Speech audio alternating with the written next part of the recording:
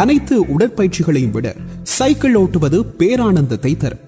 வாழ்க்கையில் எத்தனையோ விதமான அழுத்தம் இருந்தாலும் அதிலிருந்து விடுபட இந்த சைக்கிள் பயிற்சி மிகவும் உதவும். முடிவுகள் எடுக்க முடியாமல் இருக்கும் குழப்பமான மனநிலையில் இருப்பவர்கள் தெளிவான மனநிலையை அடைய சைக்கிள் பயிற்சி நிச்சயம் உதவும். எனவேதான் இரண்டாயிரத்தி பதினெட்டாம் ஆண்டு ஏப்ரலில் ஐக்கிய நாடுகள் பொதுச்சபை ஜூன் மாதம் மூன்றாம் திகதியை உலக மிதிவண்டி நாள் அதாவது உலக சைக்கிள் நாளாக அறிவித்தது. உடல் எடை அதிகரித்து தொப்பையோடு இருப்பவர்கள் வாரத்துக்கு மூன்று நாட்கள் தொடர்ந்து சைக்கிள் ஓட்டினால் தொப்பை குறையும். கால் இடுப்பு எலும்புகள் மற்றும் தசைகள் வலுப்பெறும். தொடர்ந்து சைக்கிள் பயிற்சியில் ஈடுபடுபவர்களுக்கு முதுகுவலி வராது என்றும் ஆய்வுகள் மூலம் கண்டுபிடிக்கப்பட்டிருக்கிறது. ஆனால் உயர் இரத்த அழுத்தம் உள்ளவர்கள் மருத்துவரின் ஆலோசனையை பெற்ற பிறகு சைக்கிள் பயிற்சியில் ஈடுபடுவது சிறப்பை தரும். சைக்கிள் ஓட்டுவதால் உடலில் உள்ள மகிழ்ச்சியான ஹோமோன்கள் அதிகமாக சுரக்கும். அதனால் அனைத்து கவலைகளும் மறந்து மகிழ்ச்சியாக இருக்க முடியும். சைக்கிள் பயணம் பாதுகாப்பாக இருக்க சைக்கிள் ஓட்டும் போது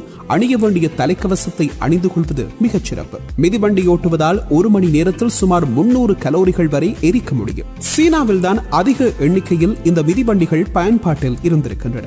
சீனாவை அடுத்து பிரான்ஸ் நாட்டில் அதிக எண்ணிக்கை எண்ணிக்கையில் மிதிவண்டிகள் இருக்கின்றன. உலகம் முழுவதும் ஆண்டுக்கு சுமார் பத்து கோடி மிதிவண்டிகள் தயாரிக்கப்படுகின்றன. உலக அளவில் சுமார் ஆறு மைல் தூரத்தை மிதிவண்டியிலேயே பயணம் செய்து கழிக்கின்றார்கள் மக்கள். அவர்களில் பெரும்பாலானோர் சீனா நெதர்லாந்து மற்றும் டென்மார்க் ஆகிய நாடுகளைச் சேர்ந்தவர்கள். அமெரிக்கா மற்றும் கனடா போன்ற வளர்ந்த நாடுகளில் கூட பொழுதுபோக்குக்காக மட்டும் மிதிவண்டியை பயன்படுத்துகிறார்கள். டச்சு மக்கள் ஒரு ஆண்டுக்கு கிட்டத்தட்ட நூறு கோடி யூரோக்களை மிதிவண்டிகளை வாங்குவதற்காகவே செலவு செய்கிறார்கள். உலகிலேயே மிதிவண்டியை அதிகமாக பயன்படுத்தக்கூடிய நகரம் நெதர்லாந்தின் தலைநகரமான ஆம்ஸ்டர்டாம். இங்கு சுமார் நானூறு கிலோமீட்டர் நீளத்துக்கு சைக்கிள் ஓட்டும் பாதைகள் இருக்கின்றன.